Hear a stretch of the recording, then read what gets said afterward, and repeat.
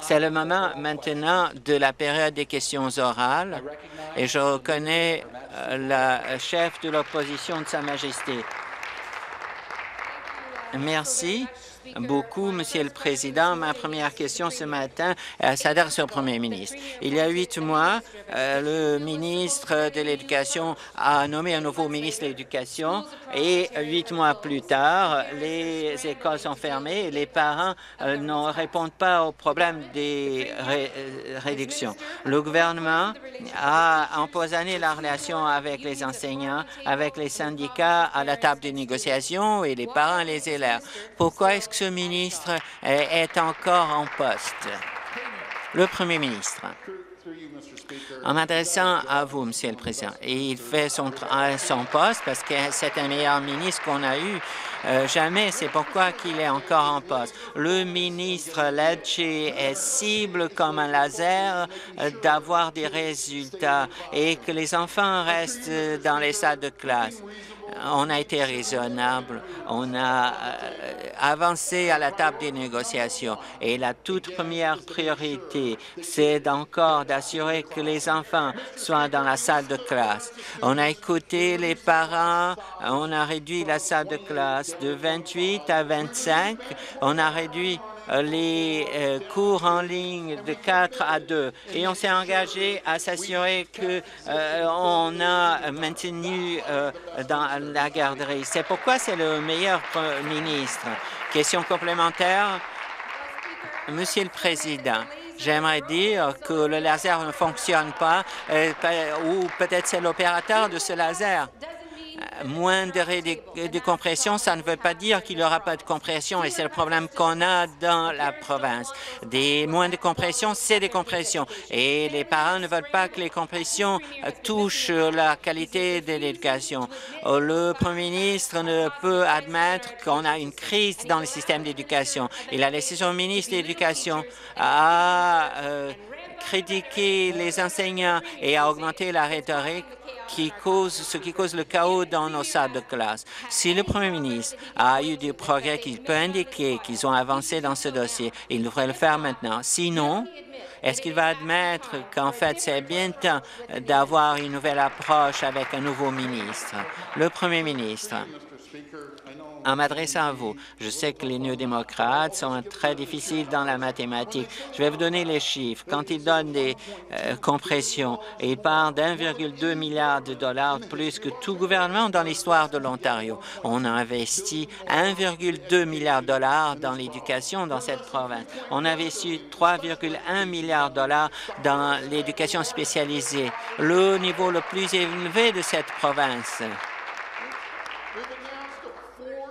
On a annoncé une stratégie de mathématiques de quatre ans avec 100 000 dollars.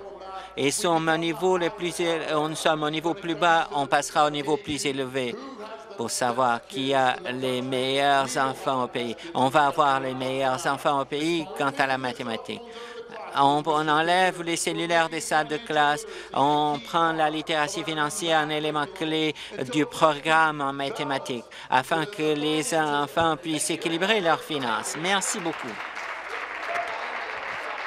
Question supplémentaire finale. Monsieur le Président, c'est très triste quand on a un Premier ministre qui ne comprend pas l'impact de l'inflation sur les budgets qui sont fixés dans nos différentes institutions comme nos écoles.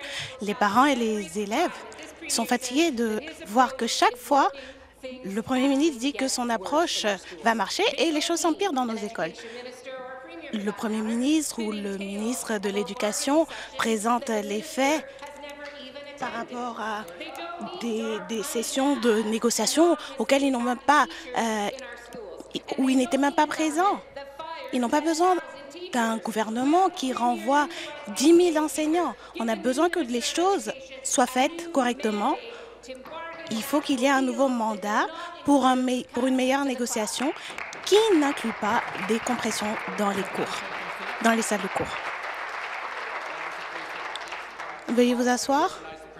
La parole au Premier ministre. Merci, Monsieur le Président. Nous créons un nouveau curriculum de mathématiques pour euh, les, classes de première à huitième année et ça sera prêt pour l'année prochaine. on a plus de doubler les financements dans les services de soins euh, pour santé mentale, ainsi que pour le personnel de santé mentale. On fournit plus de 2 millions de dollars pour les services de garde, ainsi que pour les programmes de 2019 à 2020, ainsi que, et vous êtes prêts pour cela, environ 10 000 bâtiments nouveaux pour euh, les services de garde dans les écoles. On dit qu'il y aura plus d'enseignants qui vont perdre leur emploi à cause des compressions. Mais vous savez quoi, Monsieur le Président?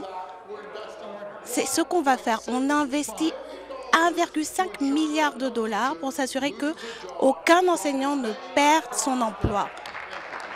On, on va tenir nos promesses. Merci. Rappel à l'ordre. Prochaine question. Encore une fois, à la chef de l'opposition officielle. Merci, Monsieur le Président. Ma prochaine question est pour le Premier ministre. Mais je dois dire, personne ne croit à ce qu'il a dit, parce que les preuves ne sont juste pas là. Les enseignants perdent leur emploi.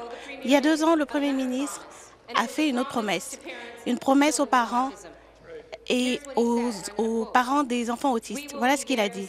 Nous serons là pour vous soutenir à 100% je vous le promets. Vous n'aurez pas à manifester devant Queen's Park. Aujourd'hui, encore une fois, ces parents sont ici et ils sont vraiment en train de manifester sur, euh, sur la devanture de Queen's Park. Est-ce qu'il est prêt à tenir sa promesse à ses parents et à ses familles? Réponse, le ministre de Services à l'enfance. Merci beaucoup, Monsieur le Président.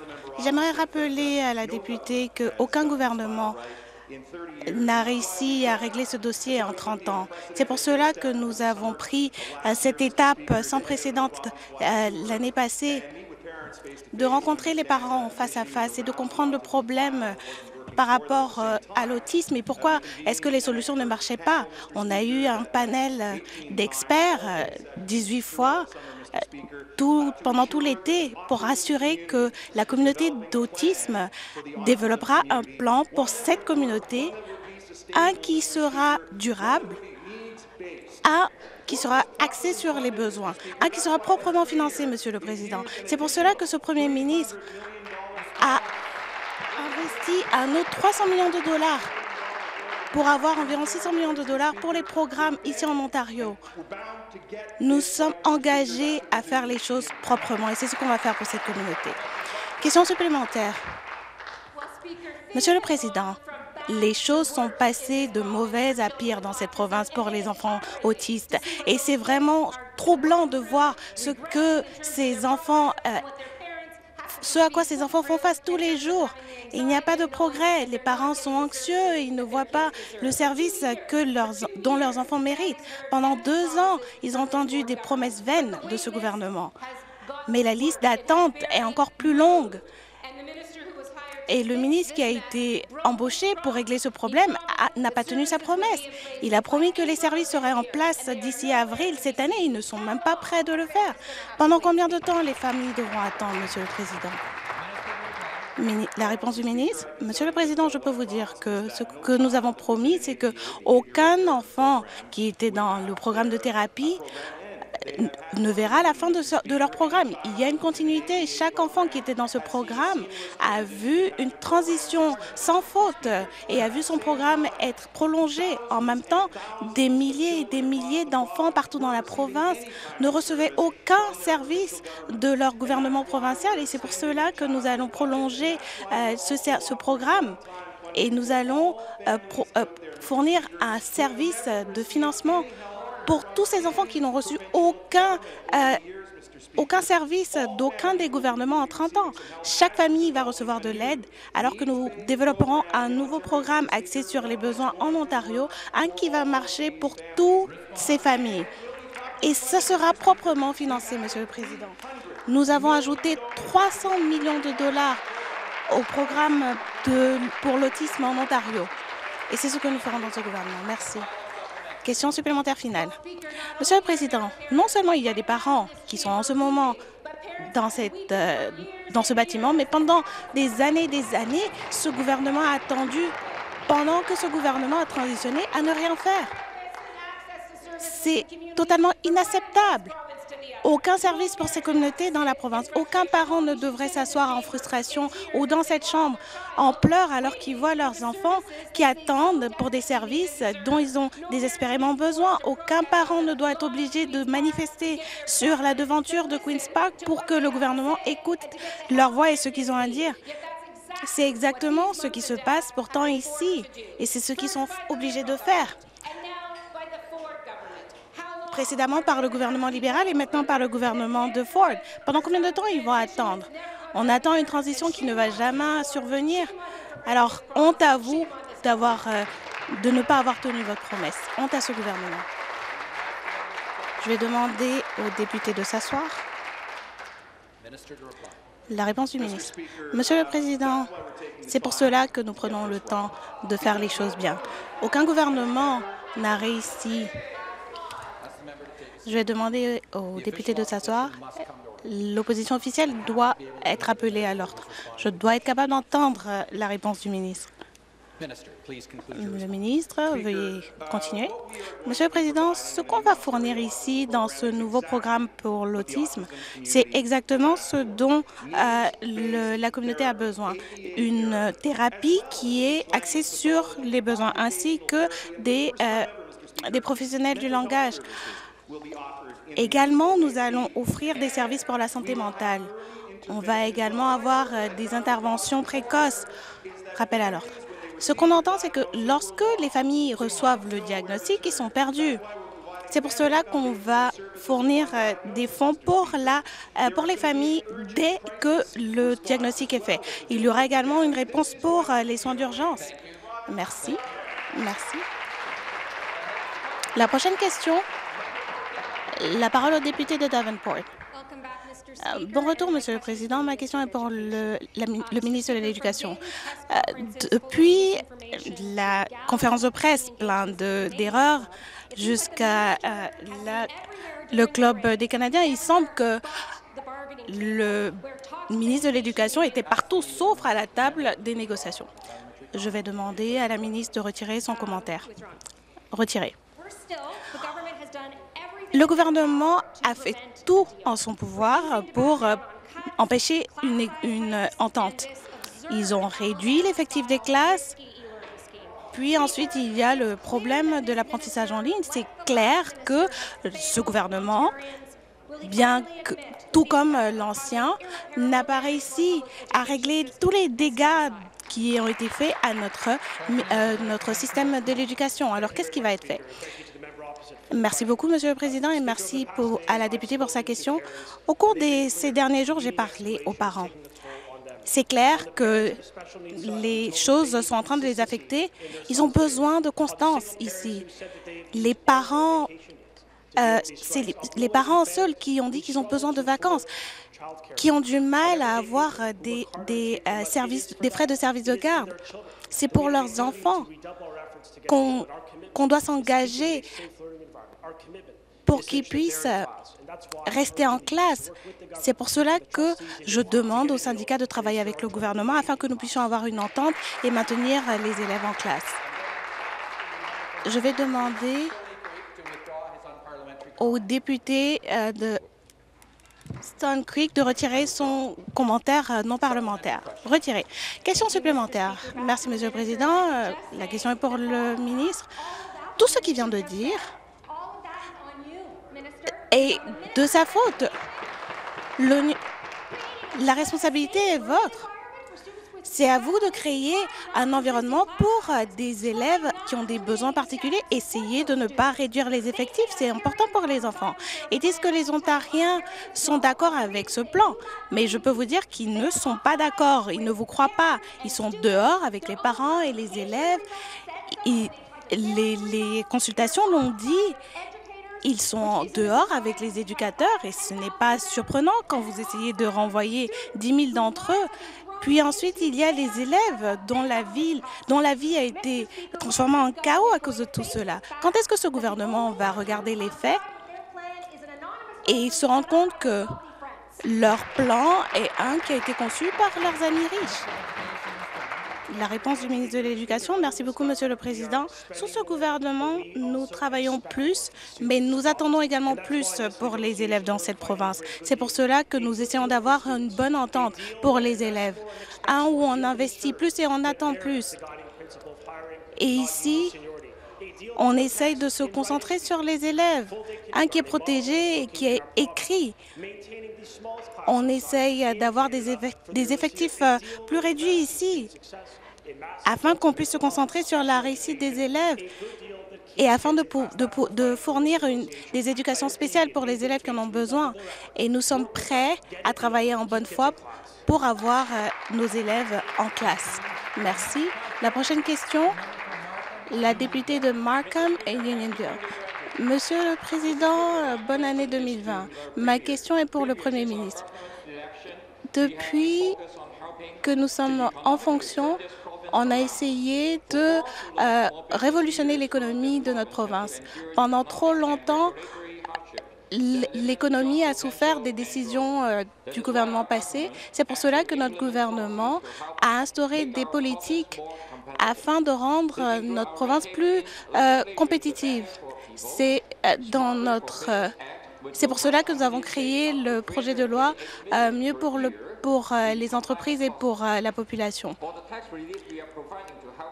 Nous, nous, sommes engagés à aider les petites entreprises en réduisant leur impôt à 5,3% Est-ce que le Premier ministre peut nous en dire plus sur ce projet de loi? La question est au Premier ministre. Monsieur le Premier ministre, je veux remercier euh, le député. Il a obtenu 67% des voix. C'est vraiment un champion là-bas. Monsieur le Président, notre gouvernement essaye d'améliorer l'Ontario. Nous avons, nous avons euh, créé environ 307 000 nouveaux emplois. Et nous sommes en tête en Amérique du Nord en, termes de nouveaux emplois. Il y a environ 200 000 familles qui, ont eu de nouveaux emplois, qui réussissent à subvenir à leurs besoins et qui réussissent à payer leurs hypothèques. Nous le faisons en réduisant euh, le fardeau administratif pour les entreprises. Nous avons réduit leur impôt de 8,5 leur permettant d'épargner des millions de dollars en réduisant de 47 euh, leurs impôts, on leur permet d'épargner environ 2 millions de dollars. Question supplémentaire.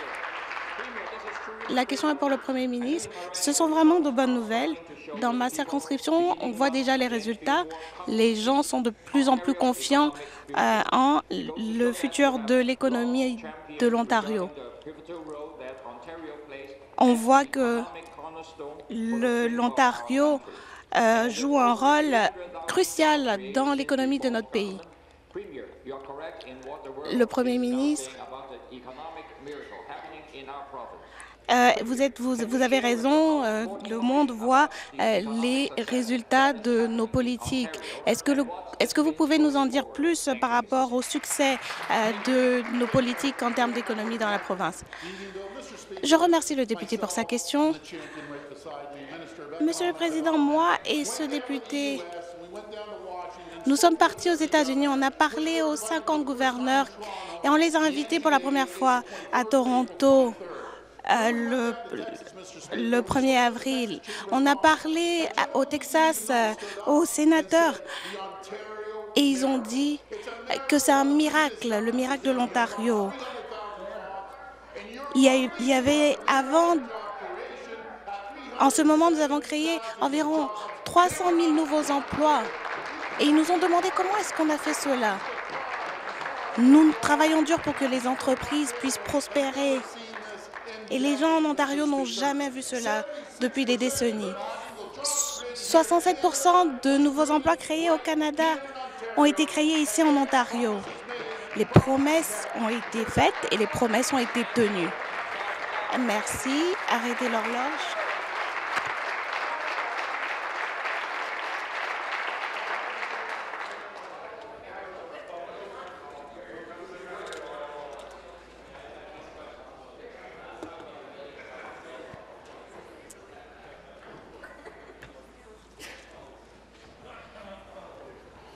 À l'ordre, intervention du président. Redémarrer la pendule. Prochaine question, député d'Essex. Merci, Monsieur le Président. C'est bien de vous voir dans le fauteuil euh, au Premier ministre. Il y a deux semaines, un groupe qui s'appelle euh, les familles, euh, Working Families de Vaughan ont payé pour attaquer les enseignants dans des, dans des publicités, un groupe qui a été associé à M. Quinto, qui est un activiste et donateur au au euh, Parti conservateur et qui a été nommé au conseil d'administration de la LCBO. Il dit n'avoir euh, aucun lien avec ce groupe, mais ces publicités font les mêmes attaques auprès des enseignants que le gouvernement fait. Est-ce que le, le, premier ministre dira que lui et son ministre et tout autre ministre ou député conservateur et autres ministres euh, ou personnels n'étaient absolument pas au courant de ces, de ces publicités? Le leader parlementaire du gouvernement. Intervention du président. Au gouvernement. Leader parlementaire du gouvernement. Oui. Complémentaire.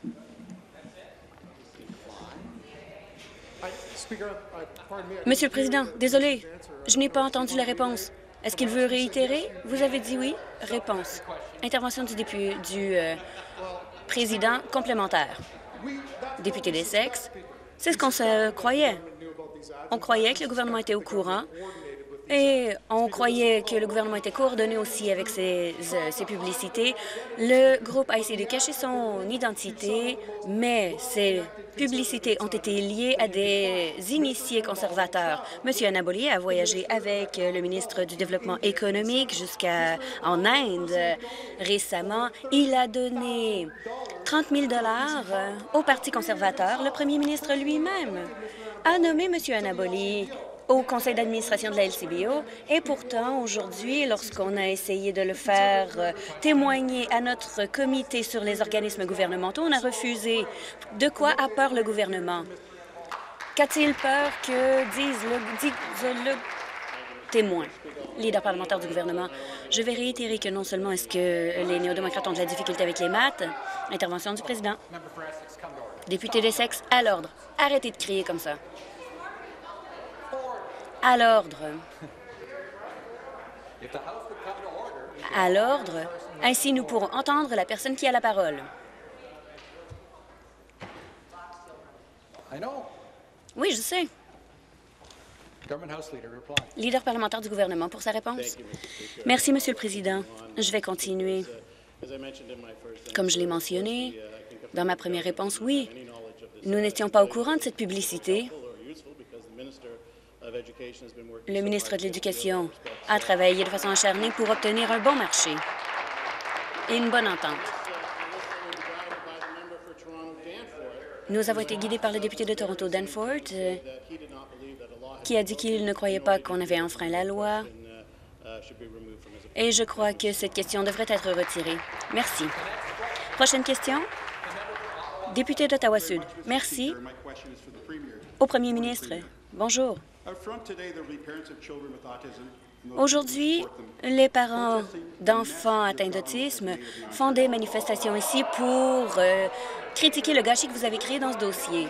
Vendredi, c'est la première fois en 20 ans que toutes les écoles de cette euh, province seront fermées et que les enfants ne pourront aller à l'école, encore une fois. Ce premier ministre et ce gouvernement créent un gâchis en éducation aussi d'augmenter la taille du gouvernement, moins d'appui pour les pour l'apprentissage vulnérable. Intervention du président. Arrêtez la pendule. Du côté du gouvernement, à l'ordre. Je présente mes excuses au député d'Ottawa-Sud pour l'avoir interrompu. Il a la parole. Je sais que c'est difficile de l'entendre, mais la taille de nos salles de classe doivent être appropriées et être bien supportées pour nos élèves. Est-ce que le premier ministre peut expliquer à nous tous qui sommes ici la raison pour laquelle il croit que d'augmenter la taille des, du le nombre d'élèves en salle de classe est une bonne chose pour l'Ontario? Le ministre de l'Éducation. Merci. Je remercie le député de sa question. Le premier ministre a indiqué que nous investissons plus en éducation publique. En sept ans, nous avons vu une augmentation du financement en éducation depuis 2003, mais nous n'avons pas vu une amélioration sur le résultat auprès des élèves. On a dépensé 80 cents sur le dollar sur la compensation et pourtant, l'embauche est encore liée à l'ancienneté plutôt que la qualification. Nous voulons travailler un système qui fonctionne pour les élèves, qui s'assure que nos élèves, nos enfants aient une bonne connaissance des technologies et on se concentre sur ici une entente qui s'assurera que les enfants demeurent en salle de classe complémentaire. Merci. J'aimerais rappeler au ministre qu'il dépense moins par élève cette année que l'an passé. J'aimerais le rappeler au ministre. Est-ce qu'il peut nous expliquer la raison pour laquelle les écoles privées font constamment la publicité de leur, euh, du, fait qu'ils ont moins d'élèves par salle de classe pour faire de la publicité et attirer les élèves. Il y a un plan pour... Est-ce que le ministre va va mettre à la porte son négociateur après 180 jours, euh, s'assurer de diminuer le nombre d'élèves en salle de classe, mettre fin à l'apprentissage en ligne obligatoire. Le gouvernement fait un gâchis dans ce dossier de l'éducation, tout comme il l'a fait avec euh, le dossier de l'autisme, les euh, plaques d'immatriculation ainsi que l'environnement. Est-ce que le ministre veut vraiment négocier ou non? Le ministre de l'Éducation. Le gouvernement s'engage à faire tout ce qui est en son pouvoir pour obtenir une entente pour que les élèves demeurent en salle de classe. cette situation dure depuis trop longtemps. Les parents en ont assez. Ces négociations sont là pour que l'on se batte à la table des à la table des négociations parce qu'on s'attend à plus du système qui s'assure que le mérite est plus important que l'ancienneté syndicale que la garderie à quatre ans soit codifiée et, Monsieur le Président, nous voulons nous assurer d'avoir une entente qui assure le fait que l'on ait le moins d'élèves par salle de classe. Nous voulons une entente et une bonne entente pour les enfants de cette, de cette province. Merci. Prochaine question, député d'Etobicoke Lakeshore. Merci. C'est bien de vous voir. Ma question s'adresse au ministre, à la ministre du Transport. La semaine dernière, j'ai écouté alors qu'elle euh, faisait un discours au Economic Club of Canada pour euh, que l'on aille de l'avant avec euh, la prolongation de notre ligne de métro. Elle a parlé des euh, embouteillages et de différents éléments importants de la ville de Toronto. Elle nous a aussi parlé des outils qui seront mis en place pour nous assurer que l'on ait des projets à temps et qui respectent les, le budget pour le nouveau métro et on aimerait connaître ses outils. La ministre du Transport. Merci. J'aimerais remercier la députée d'Etobicoke Lakeshore pour sa question. Notre gouvernement est clair. Nous nous engageons à faire les choses de façon différente. Nous avons identifié les embûches qui empêchaient les grands projets d'aller de l'avant, et ce, depuis des décennies. De par le passé, j'ai dit que notre plan était ambitieux, mais qu'il était atteignable. Les outils que j'ai soulignés plus tôt ce mois-ci nous permettront de livrer nos projets plus rapidement pour qu'ils soient construits à temps en respectant les budgets. Ce sont des objectifs clés de notre plan. Si notre plan est adopté, on donnera à Metrolinx la possibilité d'avoir une meilleure coordination de relocation, de, de resituation des différents outils qu'ils ont, de désassembler les territoires tout en traitant les propriétaires de façon appropriée. C'est le plan dont on a besoin pour aller de l'avant avec notre plan. À l'ordre complémentaire. Je remercie la, députée la ministre de sa question et j'aimerais dire que les gens de Tobico Lecture sont très heureux de nous voir aller de l'avant. Il est clair qu'il est temps de construire le transport en commun nécessaire. Nos projets liront plus de gens à plus d'endroits et feront en sorte que plusieurs collectivités auront accès au transport public comme euh, le parc Thorncliffe euh, et ainsi que celui de Markham. Est-ce que la ministre peut nous dire ce que son plan fera pour accélérer la livraison de nos quatre projets de métro? La ministre, encore une fois, je remercie la députée de sa question. Monsieur le Président, nous avons identifié les processus qui ont retardé les délais et ont poussé de l'avant et ont fait dérailler des projets. Nous voulons simplifier les processus là où c'est possible et c'est essentiel pour respecter les délais établis. Notre plan propose des changements au processus d'évaluation environnementale qui nous donnera la marge de manœuvre pour changer les délais de, pour respecter les délais de ces projets. Ces changements ne changeront pas le résultat de ces évaluations, seulement le nombre de temps qu'elles prennent. Je déposerai ce, temps, ce, plan bientôt. Nous voulons construire un transport en commun plus rapidement, plus rapide, dans le meilleur intérêt des contribuables. Nous travaillons en partenariat avec nos partenaires.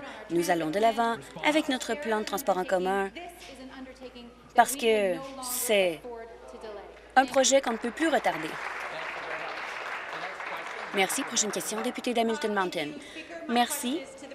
Au premier ministre, aujourd'hui, encore une fois, il y a des centaines de familles d'enfants qui souffrent qui sont atteints d'autisme, qui sont ici sur le terrain sud pour vous euh, faire comprendre que vous échouez auprès de leur famille. Une jeune fille, Amira, a attendu trois ans pour une thérapie dont elle a besoin. Elle était la prochaine sur la liste d'attente avant que votre gouvernement change ces programmes. Ses espoirs ont été anéantis. Elle a reçu le budget nécessaire qui n'a duré que quelques mois. Elle doit maintenant attendre encore plus longtemps en ayant peur de voir la situation régresser. Tous ces délais, ces compressions et ces mauvais renseignements font en sorte que les familles ne peuvent pas avoir confiance en ce gouvernement. Pourquoi est-ce que ce gouvernement insiste à faire en sorte que les familles aient la vie encore plus difficile? Le ministre des Services à l'enfance et des services sociaux et communautaires. Monsieur le Président, ce que l'on fait ici, c'est de fournir une certitude aux familles. Nous avons été transparents tout le long. Et c'est la raison pour laquelle nous avons ce groupe d'experts qui s'est réuni au cours de l'été l'an dernier et nous a fait 120 recommandations qui provenaient de la communauté des gens atteints d'autisme. Par cette communauté, nous les mettrons maintenant en place. Nous voulons nous assurer que les familles telles que celle de Talita et les ressources nécessaires avec des programmes fondés sur les besoins, qui un programme qui sera là à l'avenir. Un programme bien financé, non pas comme celui du euh, gouvernement précédent, qui n'était qu'une solution pansement. Ce programme en est un qui sera financé à 600 millions de dollars à chaque année. C'en est un qui est fondé sur les besoins et qui offre d'autres services comme des orthophonistes, des, des services de santé mentale, des services de réponse en matière de crise. Et j'ai bien hâte de répondre à la prochaine question. Complémentaire, député de Windsor-West. Merci au premier ministre. Les adultes qui ont des troubles de développement souffrent sous ce gouvernement aussi. Les libéraux ont sous-financé les logements de soutien les conservateurs, eux, n'ont rien fait. Maintenant, il y a 16 000 personnes qui sont sur la liste d'attente. Une liste d'attente qui dure 20 ans. Les familles se font dire par ce gouvernement que leur option, ce sont les refuges pour itinérants et les hôpitaux. Ils continuent à vivre dans un cauchemar Courtney est autiste, euh, ne peut pas s'exprimer. Elle est dans une unité psychiatrique, depuis 16 mois. Jennifer a le syndrome Williams, qui et elle se retrouve dans un, elle va d'un refuge à l'autre depuis des années. Un autre enfant est dans une unité psychiatrique depuis 17 mois. Tammy et Damien ont passé des mois à l'hôpital pour obtenir un traitement comportemental. C'est inacceptable.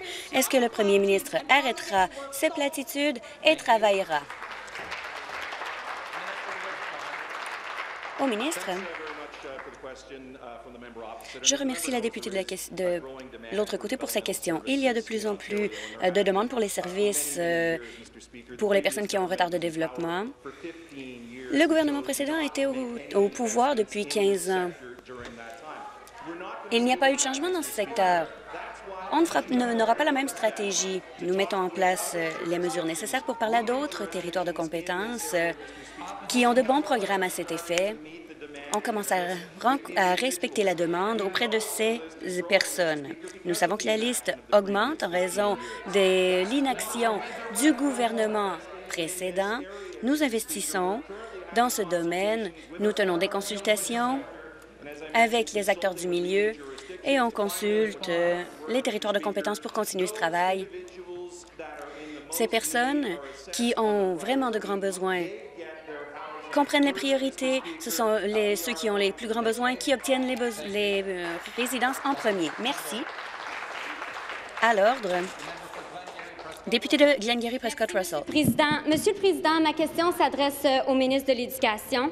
Jeudi dernier, des milliers d'enseignants francophones ont débraillé pour la première fois depuis la création des 12 conseils scolaires euh, francophones en 1998. 1998, Monsieur le Président, c'est sérieux. Je suis allée moi-même rencontrer de ces enseignants dans mon comté et je peux vous assurer qu'ils sont là pour les élèves, pour défendre notre système d'éducation.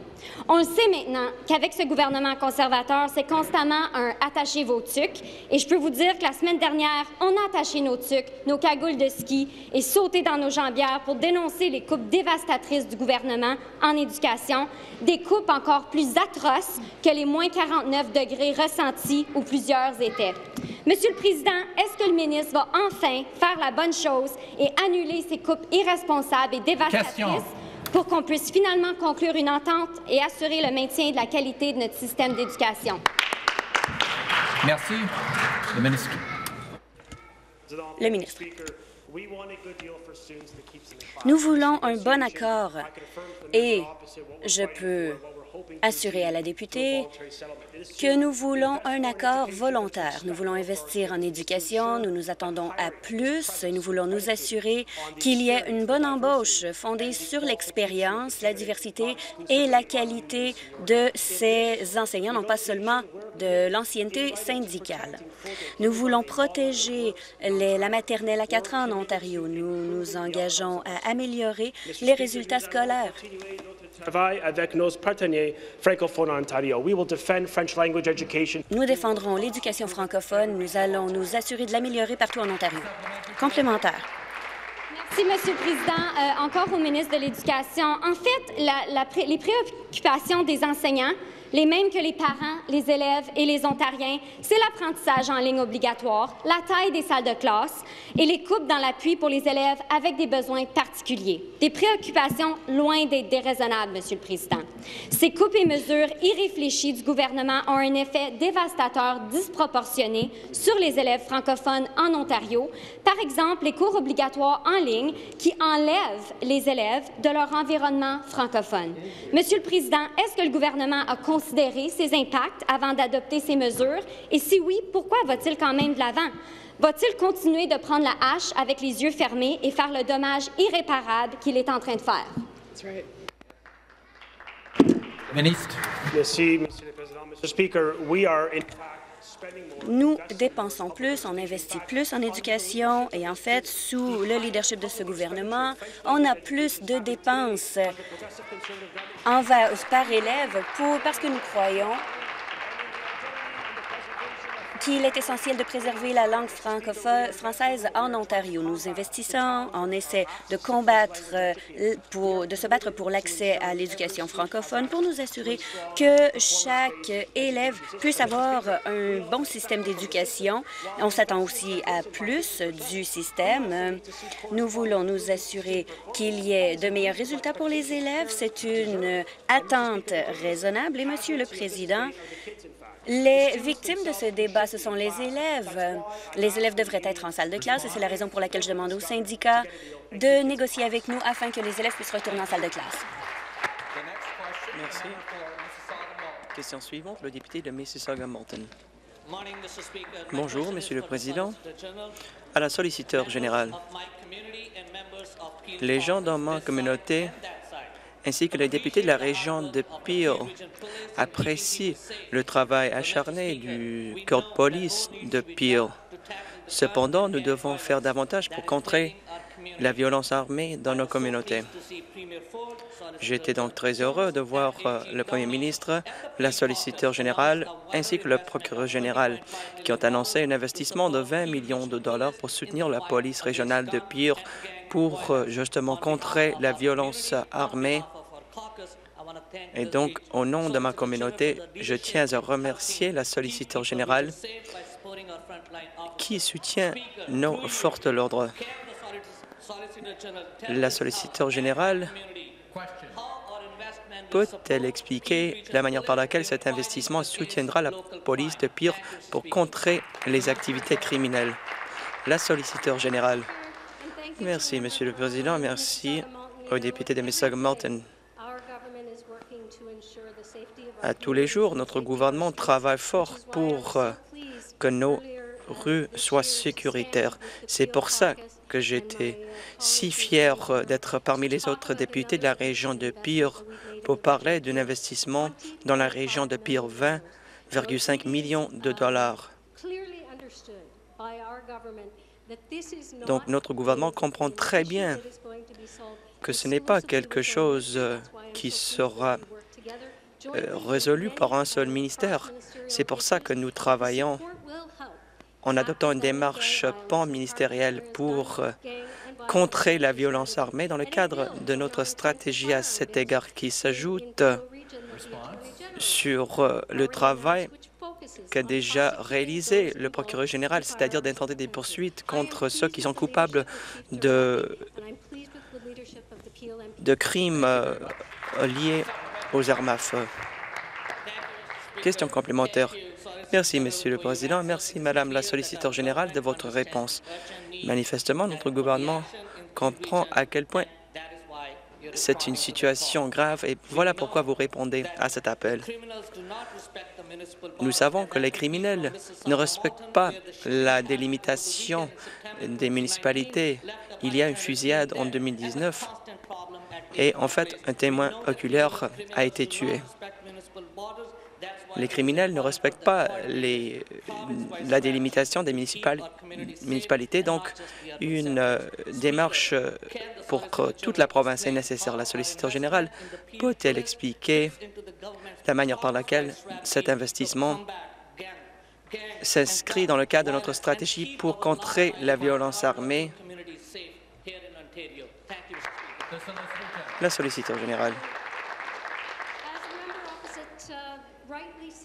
Comme l'a dit le député d'en face, les criminels ne respectent pas la délimitation des municipalités.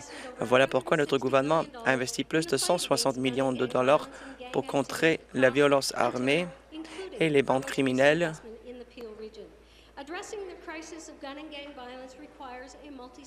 Et donc, pour s'attaquer à cette crise, nous avons une stratégie qui unit toutes sortes d'éléments y compris des investissements ciblés d'autres ministères, y compris celui du procureur général des services à l'enfance et le ministère de l'Éducation. Nos investissements dans la région de Pire font partie de l'investissement de 195 millions de dollars pour services policiers communautaires. C'est une façon de, s'attaquer aux priorités en matière de sécurité identifiées par euh, les différents services de police. Question suivante, la députée d'Oshawa. Merci. Cette question s'adresse au Premier ministre. Après beaucoup d'argent dépensé, en fait, on nous dit que les plaques d'immatriculation sont presque illisibles euh, le soir. J'ai reçu un courriel d'un Ontarien qui m'a dit c'est euh, un autre exemple du manque de planification du gouvernement. Juste comme les autocollants inutiles, ce n'est que de la propagande. Il faut donc que vous démissionnez. Le Premier ministre a-t-il le bon sens de reconnaître cette erreur et quel est son plan pour euh, s'attaquer à ce problème des plaques d'immatriculation? La ministre des Services gouvernementaux et aux consommateurs. Je tiens à assurer le député d'en face que oui, nous sommes au courant du fait que certains Ontariens ont signalé le fait que les plaques d'immatriculation sont parfois illisibles. Nous prenons cela très au sérieux. Nous travaillons avec les fabricants pour arriver au fond de ce problème. Mais en fait, euh, la plaque d'immatriculation créée par les libérales devait être remplacée. Et je suis très heureuse de vous dire que nous employons une nouvelle technologie qui a fait l'objet d'une série de tests pour euh, qu'elle soit lisible. Et donc, j'aimerais dire à la députée d'en face que nous prenons très au sérieux ces commentaires et nous allons nous attaquer à ce problème. Question complémentaire. Monsieur le Président, c'est excellent de savoir qu'il y a de la nouvelle technologie, mais mes yeux fonctionnent bien et je, devrais pouvoir lire les plaques. Donc, les plaques sont en bleu du Parti conservateur et en fait, elles ne fonctionnent pas. Elles deviennent illisibles euh, lorsqu'on y met les phares d'un véhicule. Et donc, on nous a indiqué que le gouvernement va jeter des milliers de plaques d'immatriculation lisibles. Donc, pourquoi est-ce que le gouvernement jette-t-il ces plaques, étant donné que ses propres, propres plaques sont illisibles? Le gouvernement, que fera-t-il pour s'attaquer à ce problème et pour régler le problème des euh, plaques d'immatriculation défectueuses. Le ministre. Monsieur le Président, j'aimerais rappeler à la députée d'en face que d'accepter les plaques libérales défectueuses, ce n'était pas une option. Les plaques fonctionnent bien. Elles fonctionnent sur la 407. Elles sont lisibles. En fait, elles ont fait l'objet d'une série de tests pour qu'elles soient lisibles. Et nous faisons confiance justement à ces plaques. Je sais que les députés en face ont du mal à faire face à des changements. Désolé d'interrompre la députée, mais je dois dire à l'opposition à l'ordre. À l'ordre. La ministre, ces plaques ont fait l'objet d'une série de tests. Monsieur le Président, les plaques emploient une technologie qui est utilisée ailleurs, euh, par exemple à la Saskatchewan, en Nouvelle-Écosse, au Québec et dans 13 États. Les plaques fonctionnent bien, les gens les aiment, mais tout le monde doit comprendre À l'ordre.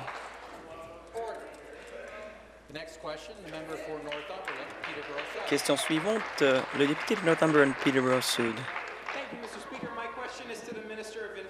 Cette question s'adresse au ministre des Infrastructures. Pendant longtemps, des routes, des ponts et d'autres projets d'infrastructures ont été négligés en raison d'un manque de financement. À tous les jours, mes commettants me demande quel est le plan de notre gouvernement pour soutenir les priorités locales en matière d'infrastructure. Monsieur le ministre, je sais que nous allons investir euh, un très grand montant dans les infrastructures à l'échelle de la province. Cet investissement aura un, un impact positif dans ma circonscription qui sera mieux positionné pour attirer des investissements, des emplois. Le ministre peut-il expliquer quels investissements en infrastructure euh, seront faits par notre gouvernement et comment est-ce que ces infrastructures seront à l'avantage de mes commettants? La ministre de l'Infrastructure, je remercie le député de Northumberland, Peterborough Sud, de sa question. Comme je l'ai dit à plusieurs reprises, l'Ontario a proposé plus de 350 projets au gouvernement fédéral dans le cadre du projet d'infrastructure Par exemple, 144 projets d'infrastructure et plus de 200 projets de transport en commun, totalisant 480 millions de dollars dans le cadre de cet accord d'infrastructure. L'ancien gouvernement libéral ne faisait pas ces investissements. Nous le faisons pour respecter euh, nos priorités en matière d'infrastructure. Question complémentaire. Madame la ministre, en mars, vous avez lancé le programme pour transport en commun au Nord. Et donc, en mai, on a soumis des projets d'infrastructure très importants à la province. Deux mois plus tard, en juillet, j'ai fait l'annonce de quatre projets dans ma circonscription. De nouveaux autobus à Coburg, une amélioration du caractère énergétique de ces véhicules, des changements à la Première Nation Hiawatha, ainsi que des investissements en transport en commun à Port Hope. Sept mois plus tard, on n'a reçu aucun financement du gouvernement fédéral. Et donc, à la ministre, Madame la ministre, que faites-vous pour que ces projets essentiels aient le financement nécessaire? La ministre des Infrastructures. Oui, je comprends qu'après une année d'attente, les commettants du député ne comprennent pas pourquoi moins d'un tiers des projets proposés euh, ont reçu l'approbation fédérale. Je suis quand même optimiste que la lettre d'approbation du ministre fédéral a été envoyée. Au moment où je reçois l'approbation écrite, je vais faire en sorte que le député et ses partenaires euh, en soient avisés. Monsieur le Président, l'infrastructure est un pilier de notre mandat et nous comprenons que ce genre d'investissement permettra aux gens de mieux se déplacer et en fait, euh, ces investissements seront à l'avantage de notre économie. Je suis optimiste que le gouvernement fédéral approuvera rapidement ces projets. Nouvelle question, la députée de Park High Park. Au premier ministre, les Ontariens qui cherchent de l'aide pour la santé mentale et pour la toxicomanie font face des temps d'attente très longs. Pendant longtemps, les libéraux ont sous-financé ces programmes et ont négligé la demande à la hausse. Le gouvernement conservateur a beaucoup parlé de la santé mentale et de la toxicomanie, mais après un an et demi, le gouvernement n'a aucunement augmenté le financement provincial. L'exercice financier prendra fin bientôt et donc le gouvernement a très peu de temps pour euh, égaler le financement fédéral. Le gouvernement provincial, égalera-t-il ce financement? Le ministre délégué au dossier de la santé mentale. Merci de cette question. Notre gouvernement pose des gestes. Il investit 3,8 milliards de dollars au cours des dix prochaines années pour que nous ayons un bon réseau de la santé mentale. Nous sommes déterminés à faire en sorte que les services soient accessibles et de qualité. Il n'existe pas de normes en matière de ces soins et nous devons nous concentrer aussi sur les résultats chez les enfants et chez les familles. Donc, on, on nous dit qu'on n'a rien investi, mais cependant, on a investi 10 millions de dollars de plus en santé mentale pour enfants dans des communautés à l'échelle de la province. Nous avons investi dans le réseau scolaire 27 millions de dollars, 6 millions de dollars en services pour jeunes aux prises avec les dépendances, y compris des programmes pour le manque. Nous allons continuer d'investir. Question complémentaire. Au Premier ministre, les surdoses ont doublé au cours des trois dernières années. C'est déjà la deuxième année du mandat du gouvernement conservateur et le premier ministre, qu'est-ce qu'il a fait? Il a fait un examen inutile des sites de prévention des surdoses et il a limité de manière arbitraire le nombre de sites.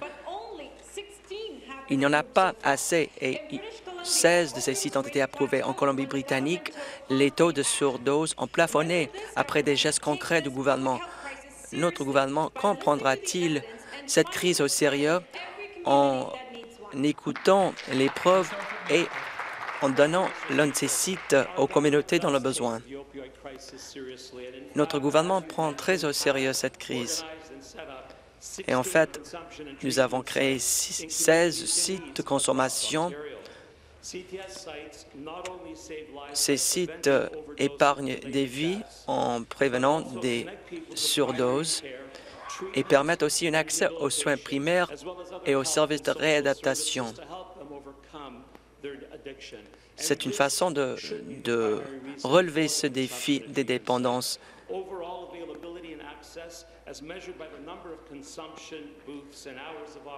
En fait,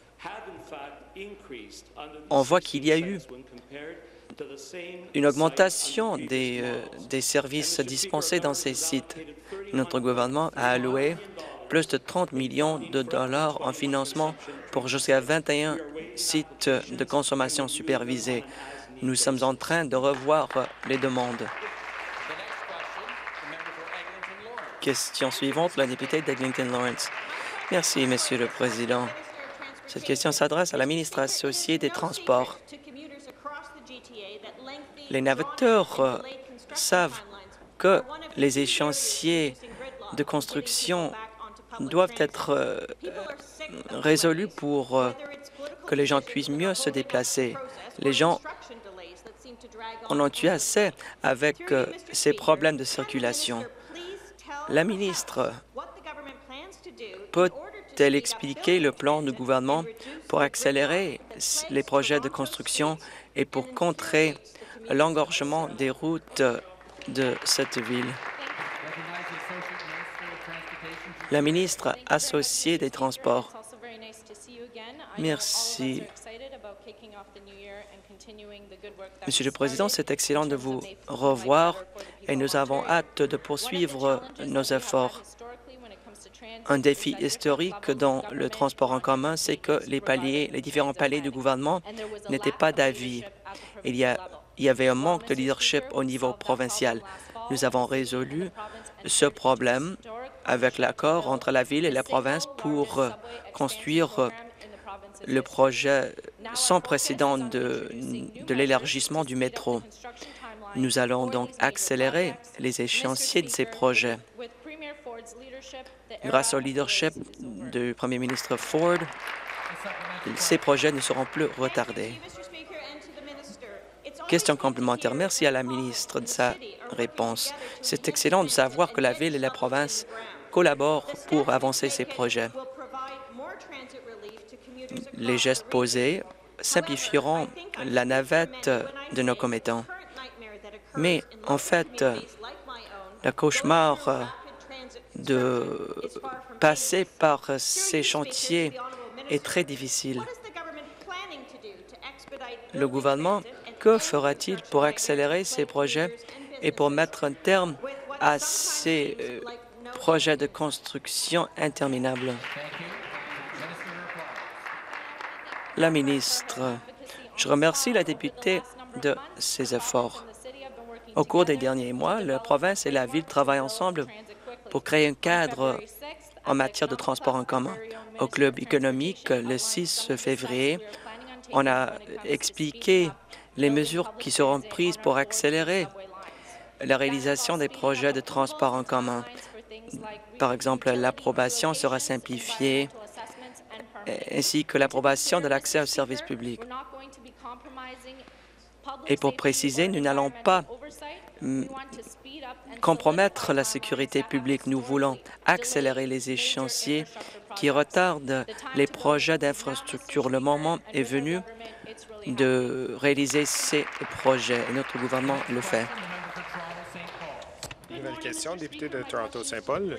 Ma question est au premier ministre. La semaine dernière, le Globe and Mail nous a écrit qu'à la suite des compressions de la part de ce gouvernement, des centres de crise pour les victimes de viols ont des difficultés à offrir des services à leur clientèle. Maintenant, avec ce gouvernement conservateur, on empire la situation lorsqu'on continue d'apporter des compressions de 20 millions de dollars pour des services de première ligne au cours de la prochaine année. Les centres de prévention et d'aide aux victimes de viol ne demandent pas beaucoup au premier ministre. Pourquoi est-ce que ce gouvernement veut plutôt aider les donateurs et leurs amis que les survivants de, de viol? Le procureur général, afin de répondre, merci, Monsieur le Président. Merci de la question. Notre gouvernement appuie les victimes partout dans la province et nous appuyons les familles qui sont victimes de crimes. Nous continuons de les appuyer de, plusieurs différentes façons. Nous reconnaissons le très bon travail des centres d'aide aux victimes font qui sont là pour appuyer les victimes et les familles dans le, qui sont dans le besoin. C'est essentiel de les appuyer. Nous les appuyons. J'ai eu une très bonne réunion avec certaines des organisations pour les centres de de victimes de viol et nous en apprenons plus sur la façon que le système fonctionne et qu'on peut l'améliorer. Il s'agit de mieux coordonner les services, de mieux comprendre les besoins des victimes. Lorsqu'ils ont besoin d'aide, nous nous assurons que nous sommes là pour eux. L'ancien gouvernement libéral a tenté de politiser l'enjeu des victimes de crimes et c'est la mauvaise façon de s'y prendre. Nous voulons réparer le système, d'assurer qu'il fonctionne bien pour ceux dans le besoin, quand ils en ont besoin de ces services. Merci. Complémentaire. Monsieur le Président, nous savons, euh, nous ne coordonnons pas les survivantes, mais nous devons les écouter plutôt. Monsieur le Président, ma question est encore une fois au Premier ministre. Les survivants survivantes ne reçoivent pas d'aide. Si ce gouvernement se préoccuperait réellement de leur sort, il renverserait leur compression. Encore une fois, les compressions de la part des conservateurs n'aident aucune personne. On a besoin d'un gouvernement qui est finalement là pour eux et qui lutte pour ce qui importe pour les survivantes et survivants. Les centres ont besoin d'aide immédiatement et non pas demain. Est-ce que le gouvernement va arrêter d'imposer des compressions sur les femmes et les survivantes et vont financer ces, centres de prévention et d'aide aux victimes de viol euh, immédiatement? Procureur général, afin de répondre, Monsieur le Président, notre gouvernement est dévoué à aider les victimes. Nous avons adopté une analyse des services pour les victimes de crimes et de leurs familles. Nous prenons très au sérieux cet enjeu et ce sont des gens les plus vulnérables dans notre société. Nous devons être là d'une façon importante pour leur offrir les services qu'ils ont besoin lorsqu'ils sont dans les plus grands besoins. Cela conclut le temps que nous avions pour la période de questions ce matin. Conformément au règlement 31A, le député de Glengarry Prescott Russell a fait part de son mécontentement envers la réponse à sa question de la part du ministre de l'Éducation concernant le système d'éducation publique francophone et on va passer au débat sur cette question à 6 heures cet après-midi. Je voudrais aussi souligner le député d'Algoma, Manitoulin, pendant 31, 32, 33, 35, 30, 34, 35, 36e Parlement, qui est parmi nous. Bienvenue.